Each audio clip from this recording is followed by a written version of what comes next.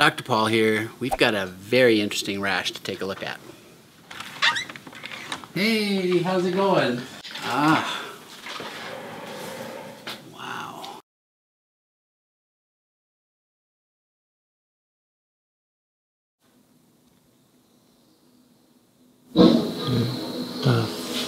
Oh, dude.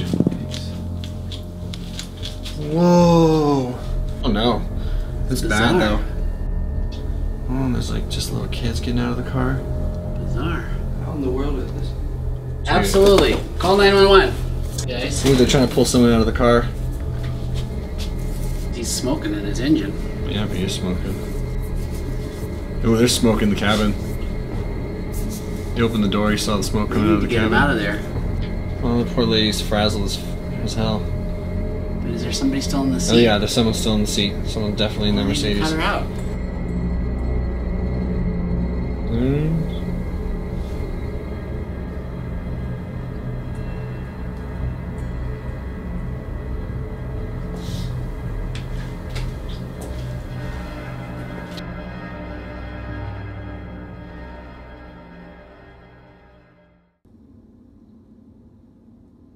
Tell me what happened.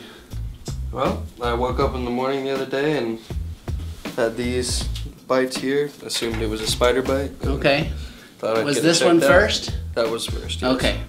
And then were they all there when you woke up? No, they appeared a little late. Well, I noticed them a little later. Not in the sure. same day? Yeah. And this was yesterday? Uh, I want to say two, three days ago. Two, three days ago? And they're getting worse. Yeah. Okay. All right. So this one, I think you you tried to squeeze it, or yeah. All right. What happened when you tried to squeeze it? Mm, pus and then blood came out Okay. and then scab right up. Great, great. All right.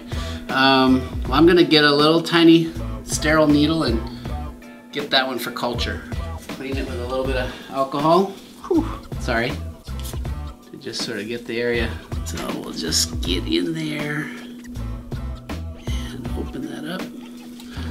And we'll get a little culture. Doesn't take much to grow bacterial infection. Sorry, that hurts, doesn't it? All right. No. Uh, no, it doesn't hurt. Totally good. All right. So this here is going to go off to the lab. So I think what's going on here is you probably did get a spider bite. You can kind of see the center of each one is a little bit, the tissue's a little damaged. And then when you see redness around a bite or an infection, there's two possible causes. Either the toxins injected from the biting insect are damaging tissue, or we've got an infection. And usually when you have pustules like we had here, I think of that as being staph. You know, our skin has staph and strep and other bacteria, but the most common cause of a cellulitis that's from a broken wound to the skin is a staph infection. So we're gonna put this young man on trimethoprim sulfa, and on this part of the world, almost all staph is sensitive to sulfa, trimethoprim sulfa. The other name for that is Bactrim or Septra. It's one twice a day for 10 days. It'll probably take care of it. If for some reason it's not getting better, obviously come back, let me know. All right, super. Do you have any questions? Sounds good. All right, well, folks, there you have it. Uh, probable spider bites that may have gotten infected. This should get better with trimethoprim sulfa.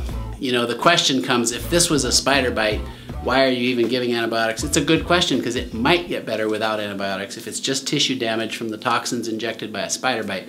But the fact that it spread like that, either the spider went along bite, bite, bite, bite, number four, or staph infection in the tissue caused these pustules to crop up. I'm covering my bases and taking care of both. Thanks for watching. I'm Dr. Paul. Is there anything you want to say for your newfound fame and glory on YouTube? What's up? What's up? All right. Hey, here we go. High five. All right. Take care, man.